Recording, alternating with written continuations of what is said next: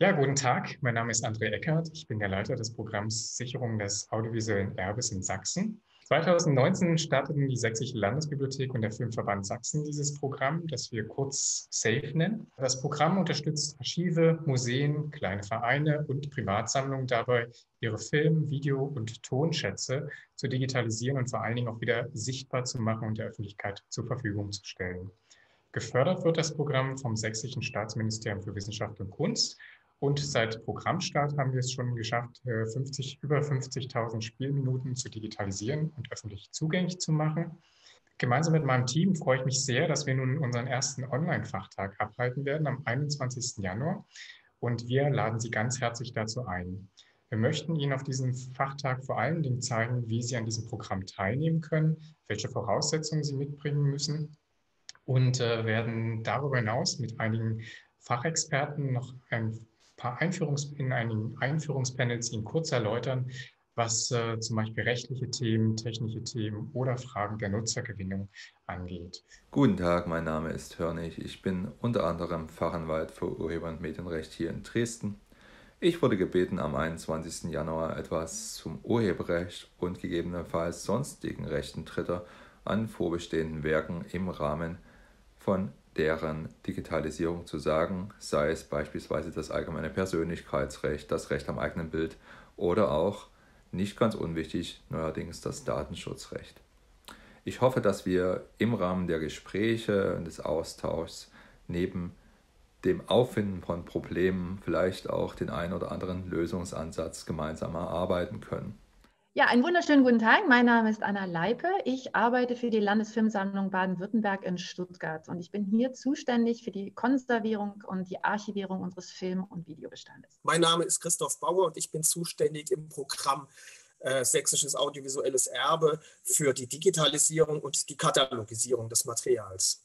Was haben wir mit Ihnen vor?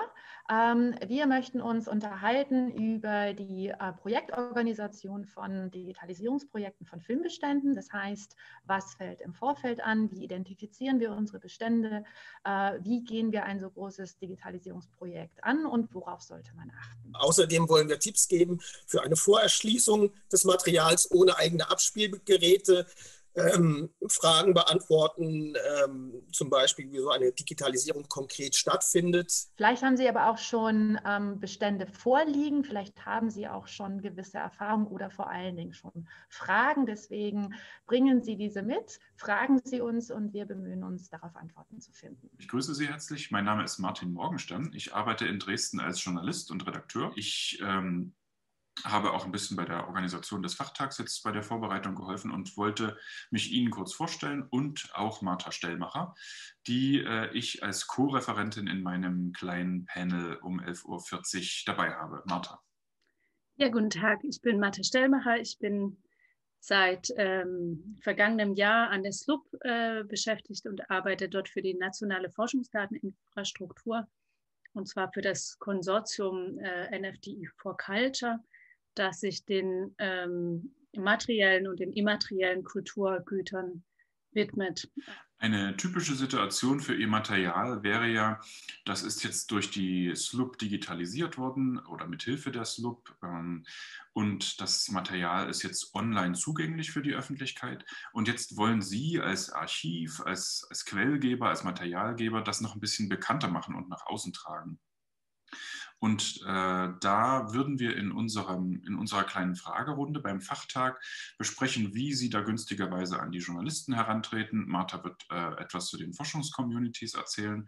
Äh, das würde ich Ihnen bei dem Fachtag etwas genauer erklären und natürlich auch für Ihre Fragen zuständig äh, sein und versuchen, Ihre Fragen dazu zu beantworten. Also wir freuen uns, Sie am 21. Januar virtuell zu treffen und zu sehen.